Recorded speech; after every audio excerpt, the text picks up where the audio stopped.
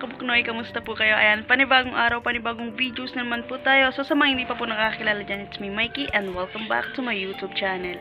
Mari ka na pong mag-subscribe at pakiclick na rin po yung may kilalang-tilang bell dyan para updated po kayo sa susunod ko pang mga videos. So today's vlog nga po mga kabuknoy na ayan, um, I'm craving uh, cheese stick.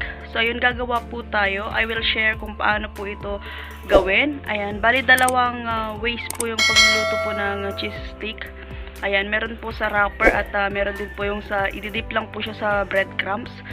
So, yun guys. Tara, simulan na po natin. Ito po yung ating kakailanganin. So, meron po tayo dito breadcrumbs. Yan, yung gagamitin po nating cheese. Eden cheese. At saka meron din po tayong wrapper. Kasi dalawang klase po ng cheese stick yung gagawin po natin. So, ayun guys. Uh, magsimula na po tayo.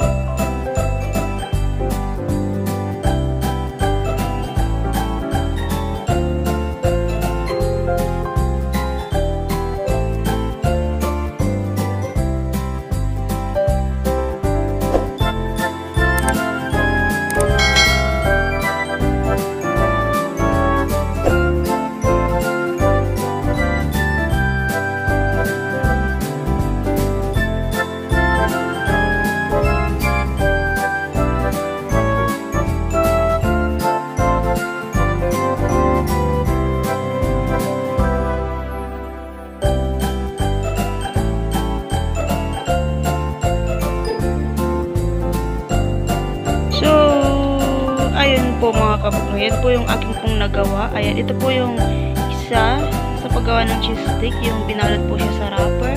At uh, ito naman po yung isa na dinip po siya sa breadcrumbs.